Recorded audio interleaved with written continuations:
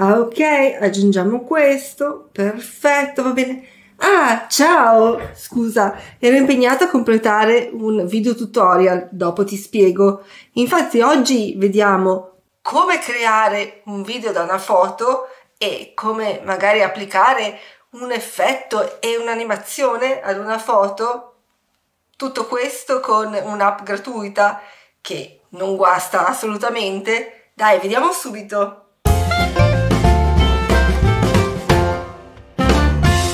Ciao, eccoci qua, come vedi in versione un po' artista, perché Zia Cla mi ha chiesto di fare un video tutorial per la sua ricetta che ha detto che c'entra la zucca, poi vediamo bene. Però gli ho chiesto, ma Zia Cla, hai fatto i video di tutti i passaggi in modo tale che possiamo fare vedere bene come si fa e lei mi ha detto, ah sì, qualche video l'ho fatto, però ho fatto tante foto. Ok, però io il video devo farlo completo e quindi cosa mi invento adesso? Sicuramente dovrò utilizzare adesso delle foto in modo tale che queste foto messe in mezzo ai video facciano vedere eh, proprio tutti i passaggi. Però queste foto a un certo punto non posso metterle statiche lì, devo fare in modo che il video sia in un certo senso uniforme, quindi che da queste foto venga fuori un video. Come faccio? Poi oltretutto adesso sono fuori ufficio, ho solo qui il telefono e, e quindi devo utilizzare un'app. Vabbè, non c'è problema, dai, so già come fare, ho già un'idea. Che app posso utilizzare? Beh, in questo caso utilizzo quest'app CapCut. Hm? Che è anche utile per animazioni, per effetti sulle foto, oltre che sui video. Clicco su New Project o Nuovo progetto e a questo punto posso caricare i miei video e le foto soprattutto che voglio utilizzare per fare il mio tutorial, il mio video o qualsiasi cosa che anche tu vuoi creare no? con quest'app. Benissimo, per non annoiarti troppo, devo dirti che io il video tutorial l'ho già creato e quindi ti posso dire che ci sono due soluzioni che puoi utilizzare per dare un po' di vita alle tue foto. Uno, gli effetti, due, le animazioni, ok? Quindi cominciamo a vedere qua. Vedi, questa in realtà è un'immagine statica ma come vedi c'è del movimento, quindi sì, si vede che è un'immagine, però non dà così fastidio poi dopo dentro il video perché c'è comunque del movimento. Come ho fatto allora a fare questo effetto? Perché questo è un effetto, non un'animazione e questo effetto parte dall'immagine precedente e va fino all'immagine seguente, ok? Per vedere come ho fatto basta andare in effetti, hm? vedi? Qua ho applicato questi effetti, rolling film per esempio. Hm? Posso anche toglierlo così ti faccio vedere.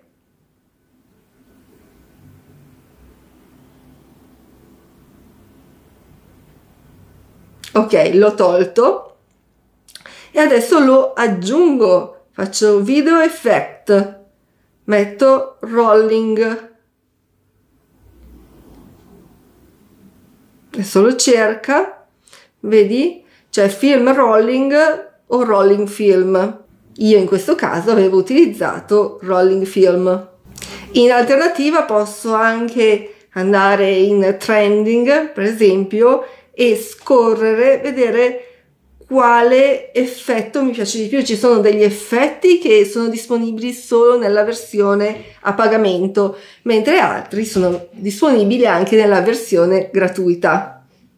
Quindi io clicco qua, scelgo Rolling Film e metto la spunta. Vedi? Me l'ha inserito e come vedi ho inserito questo effetto. Poi dopo posso anche trascinare in modo tale che duri più o meno tempo, ok? Quindi la cosa positiva dell'effetto è che non solo posso applicarlo all'immagine, ma posso applicarlo anche magari all'immagine e video seguente o precedente, ok? E questo è anche utile. In questo modo ho anche un po' più di movimento e il video può diventare anche omogeneo. Mm? Vedi, anche questa è un'immagine statica a cui è stato applicato un effetto, mm? quindi ci sono anche diverse cose che puoi fare. Qua addirittura c'è un effetto e un'animazione, perché che differenza c'è? La differenza è che l'animazione viene applicata direttamente all'immagine, ok?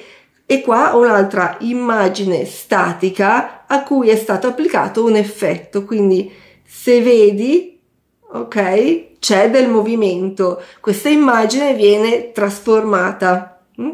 E come ho fatto? Qua se vedi animation in combo ho utilizzato enlarge and bunch, ok? Quindi io posso anche in questo caso farti vedere di toglierla, non, ok? Quindi in questo momento si muove solo perché c'è ancora l'effetto precedente, ma poi quando non c'è più sulla barra l'effetto precedente, l'immagine è completamente statica. Perciò io devo applicare questo effetto in modo tale che riprenda eh, questo specie di zoom che allarga e stringe l'immagine. Ok, quindi vado su animation, combo e vado a ricercarla. Qua enlarge and the pumpkin with a fork vedi? Ok c'è questo movimento. E in questo video ho utilizzato diverse immagini statiche però alla fine il risultato è abbastanza omogeneo, mm? quindi possiamo dirci anche soddisfatti, non è male. Quindi abbiamo detto per esempio che qui invece c'era anche l'effetto e animazione e infatti se vado in animation, in combo, ho questa animazione qua, sway in, questa animazione che come vedi mi fa ruotare l'immagine Mm? Quindi l'effetto è combinato all'animazione. Ciao! Ciao Ilaria, buona serata. Accendi! Accendi, grazie. Forse è evidente che per questo video mi sono dilungata un po' troppo, però ho cercato di farti vedere alcuni esempi che ti possono essere utili per fare dei bei video dalle tue foto applicando effetti, animazioni. E quindi adesso vado anch'io. Però se hai bisogno di fare un breve ripasso non c'è problema perché ti lascio il link al video short che ti fa vedere i passi fondamentali. Ok? Ciao alla prossima